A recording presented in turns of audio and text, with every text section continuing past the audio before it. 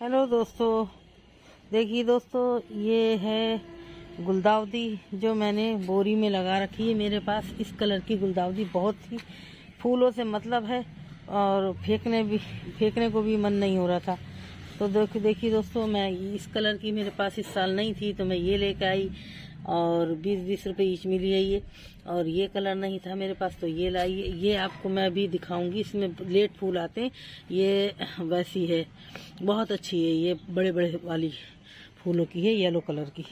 तो दो, देखिए दोस्तों आप मेरे गुलदाउदी में फूलों की बहार आई हुई है। पर्पल वाइट पर्पल वाइट है। ये छोटी वाली है। बहुत सुंदर लगती है। और देखिए दोस्तों, इसमें कलियाँ बड़ी वाली है। कितनी कलियाँ बनी हुई हैं। तो देखिए दोस्तों, फूली फूल हैं माशाल्लाह से। देखिए, गुच्छों में फूल आए, थोड़ा इससे बड़ा साइज़ है। तो दोस्तों, आजकल गुलदावदी लगाइए।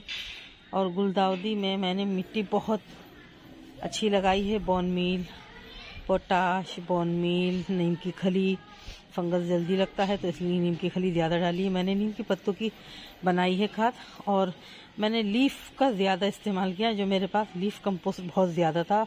वेस्ट कंपोस्ट था, किचन वेस्ट कंपोस्ट, और लीफ कंपोस्ट यूँ के हल्की भी होती है उसकी मिट्टी, और बहुत पोषण युक्त होती है।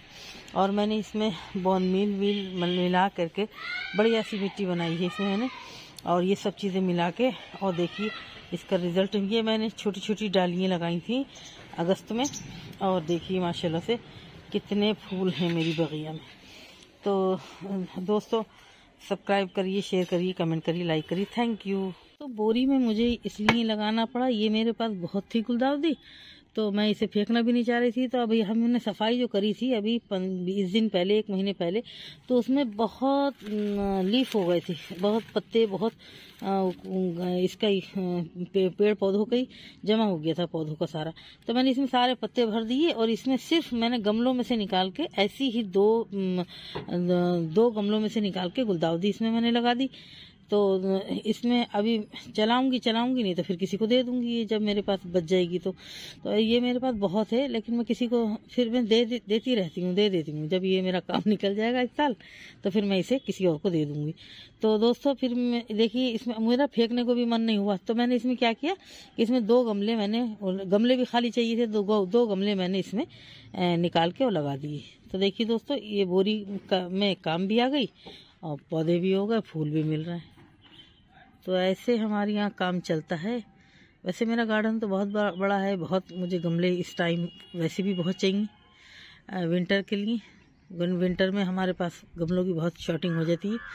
अब मैं आपको दिखाऊँगी, वो लाऊँगी लकड़ी की, वही जो मैं लाती हूँ, सेब की पेठी उसमें दो दो तीन तीन पौधे आराम से आ जाते हैं तो वो मैं आपको दिखाऊँगी।